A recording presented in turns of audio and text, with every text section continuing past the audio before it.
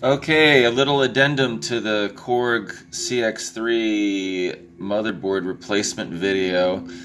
Um, I thought we had it, and we were playing it for a while, and then it happened again. And after a little research, uh, someone thought that maybe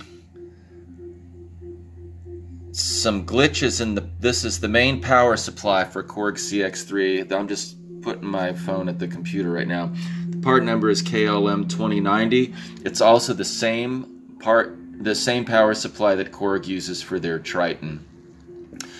Um, I pulled the power supply from that Korg CX3 cleaned all the contacts tested uh, the capacitors and replaced this one right there, which was uh, 3300 UF. I think it's a 50 volt cap.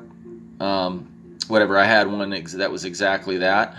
Touched all the other caps and the the um,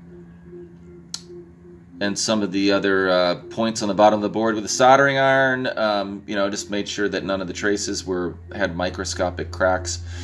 And after this power supply kind of uh, job and the motherboard replacement, it is now we can officially say that this thing is fixed.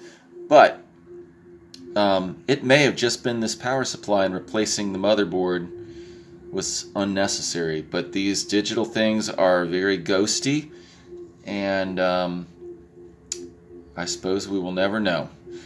But, anyways, uh, hopefully, some of you can benefit from this little five part series if you're having problems with your Korg CX3. Okay. Good night.